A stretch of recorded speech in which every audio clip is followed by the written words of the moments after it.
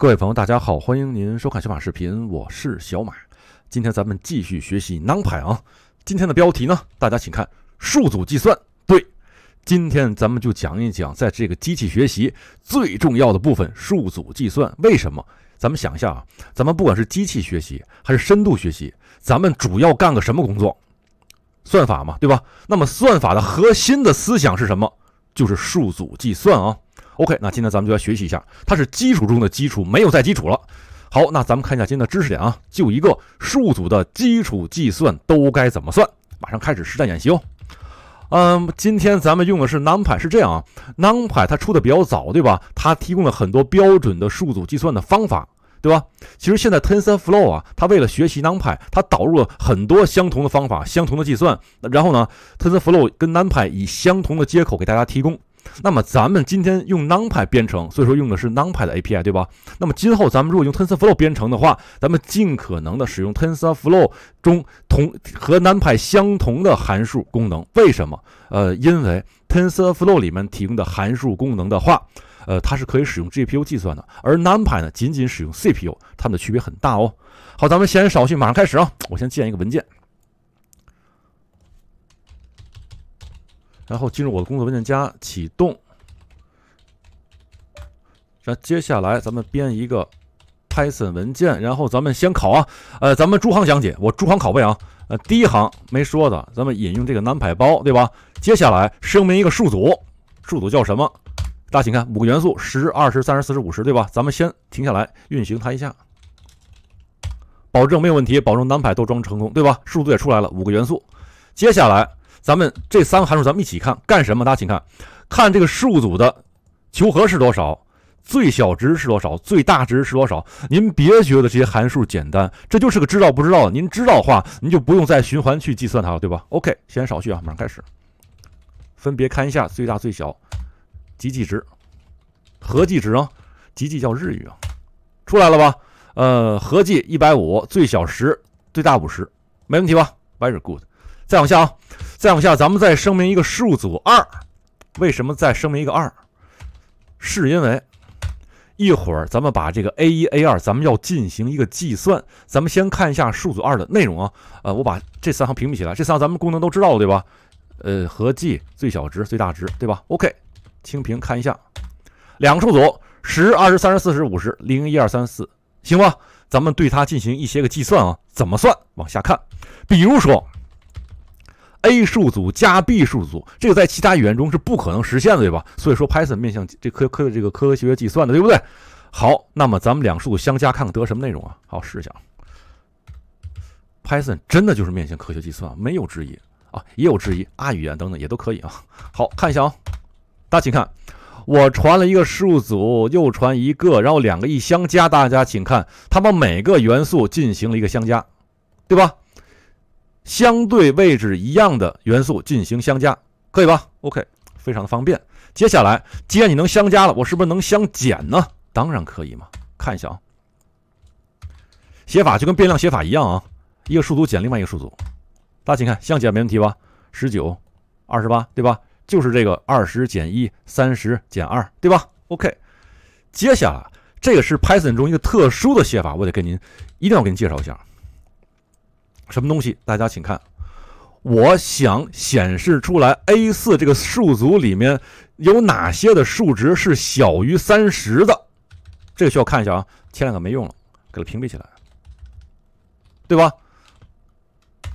我把上面都屏蔽起来。咱们会打印一个数组，这个数组呢是这个内容，对吧？然后我想看一下这个数组里面哪些内容小于三十，对吧？这 Python 非常特殊的写法哦。马上开始清屏，Go。大家请看。我有一个数组是这个数组 A 四对吧？它哪些小于三十？第零个、第一个、第二个对吧？所以说你看打印出来的这个布尔值的数组，前三个是真，为什么？前三个是小于三十的对吧？后两个不小于是 false。这个就是 Python 非常非常特殊的写法，但是又是非常非常的常用。它操作数组太灵活了。OK，不光是这些，它还可以乘法。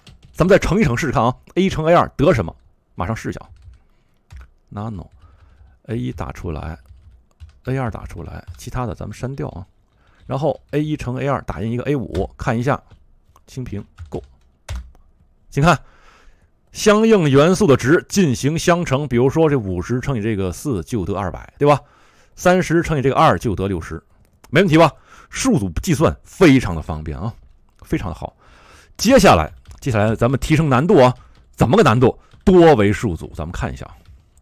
首先，咱们声明一个 B，一共有十二个元素，然后把让它变成三行四列，行吧？reshape 成三行四列，看一下啊。清空，拷贝，哎，真就三行四列了。拷贝啊，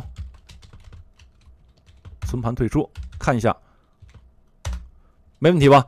一个十二个元素的数组，把它分成三行四列，大家请看，这是第一行，对吧？第二行，第三行。为什么我喜欢把这个二维数组叫做三行四列、几行几列呢？是因为我的脑海脑海里啊，都是一个图片的概念。图片不就是几行几列吗？对吧？因为我最近做这个计算机视觉做的比较多。好，先少叙，咱们看到了，接下来干什么？咱们要做一个行列的计算。这个计算稍微有一点困难，理解困难。怎么困难法？大家请看，我对它进行一个合计，轴是零的。所有的数字进行合计，咱会怎么理解？这我给你写出来了。如果轴是零，它是垂直列计算；如果轴是一，是水平行计算。什么意思？看效果。这行代码我在学习的时候理解起来也花了些时间啊。好，咱们看一下。可是这些东西您要不理解的话，您就学不会这个数组计算。大家请看，当轴是零的时候，大家请看，是每一列进行合计，对吧？零四八加完一块十二，对吧？一。五九加一块十五，当以轴是零为单位合计的时候，它是把每行的列进行合计，这显示出来是四个元素，对吧？当轴是一的时候进行合计，它是把这每行进行合计，相当于是说我下下面的每一行的数组的单元进行合计，这个地方啊。您只有熟了，才才能慢慢的理解啊。为什么说我是零轴的时候它是列合计，而我一轴的时候它才是水平行合计？这就是二维数组的概念。您把理解了之后，您的这个 NumPy 的使用水平能更上一个台阶啊。好，接下来咱们再看一下垂直列的最小值和水平行的最小值，这就简单了，好吧？清屏看一下啊，大家看垂直列最小值对吧？零四八是零一五九。甭问是一对吧？然后最大值呢也是没有问题对吧？啊，最大值我给你说一下，这个因为是一轴的最小值，最因为大家请看一轴是这个轴嘛，哎，都是一轴，其实就是里里面每一个行对吧？求每个行最小值零四八零四八对吧？OK，那咱们再看一下最大值哦，这些 API 啊。我给您讲一遍，您只能是有有一个感性的认识，您真的需要手动敲出来数字，然后呢，把屏幕放在这儿不要动，然后盯着屏幕去理解一下，才能够理解哦。好，咱们看一下列的最大值，对吧？列最大值八九十就是这个嘛，以列为单位找找最大值，对吧？找出来了，然后以行为单位找最大值，也都找出来三七十一，对吧？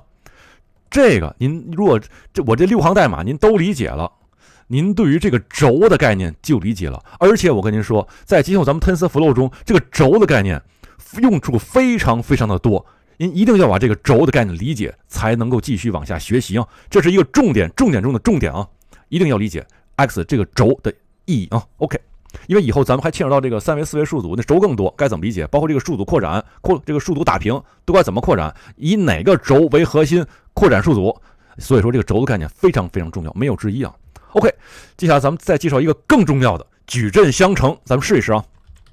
这个这个太重要了，没有之一，拷贝过啊。为什么？因为咱们在做这个神经网络的时候，咱们主要干的什么事儿？就是矩阵相乘，比如说，其实矩阵相乘啊，就相当于是这个两个数组相乘嘛，对吧？比如说，啊，我有一个 x 数组，这个在咱们这个深度计算里面叫做这个呃特征值，对吧？x，呃，然后我先传第一行过去，然后呢再传第二行过去，对吧？每行都有自己的特征嘛，对吧？相当于图片的每一行，对吧？都传过去，我这当然这这个您可以把理解为这个二乘三的图片，对吧？OK，然后这个 w 是什么？是权重。大家请看，这有一个规则，就是说我每一行的列数和咱们权重的每一行，呃，每个行数要一样。这个是符合矩阵相乘的原则。矩阵相乘是有原则的，对吧？啊，也就是说，我每一行的特征值要乘以呃自己相应的权重，乘乘完之后加上一个偏置，集合再放到神经元当中，对吧？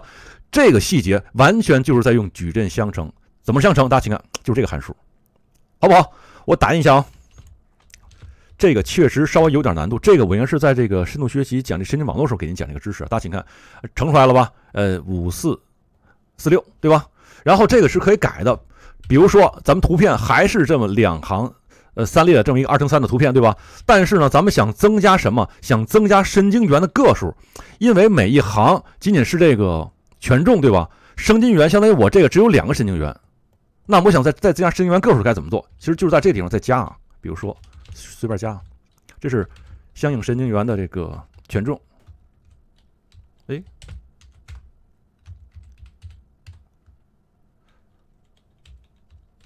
比如说这么加啊，然后咱们咱们再进行一下矩阵运算。大家请看，出来数据不一样是吧？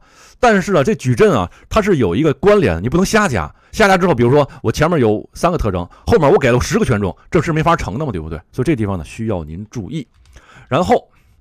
这矩阵相乘虽然有 NP 点逗的这个写法，其实还有另外一种写法，at 对吧？比如说特征值 at 一个 W 啊，其实就是矩阵相乘啊。咱们试一试啊，另一种写法，矩阵相乘的另一种写法，咱们看一下啊。好，拷贝下来，清屏运行。大家请看上面的写法。跟下面写法出来的结果完全一样的，对不对？哎，这就是矩阵相乘，是这样啊。对于初学者朋友来说，您矩阵相乘不用去关心它是如何计算的，第一个值乘哪个值，第二个乘哪值，我 x 一乘以呃 w 一，x 二乘以 w 二等等，您不用去关心，您只要知道，呃，咱们在做科学计算当中最重要的核心部分就是这个矩阵相乘就够了。OK，以上就是今天我给您分享的南派数组计算的最基本的几个 API 和常识，希望您能够理解啊。今天的代码呢，我会放到我的 GitHub 上，有兴趣朋友呢下载运行一下我的代码，呃，您加深您的理解嘛，对不对？OK，如果您喜欢我的视频呢，也希望您能够订阅我的频道，然后点赞，帮我转发分享给您的朋友吧。好，那这个视频就这样，咱们在今后视频再见喽，拜拜。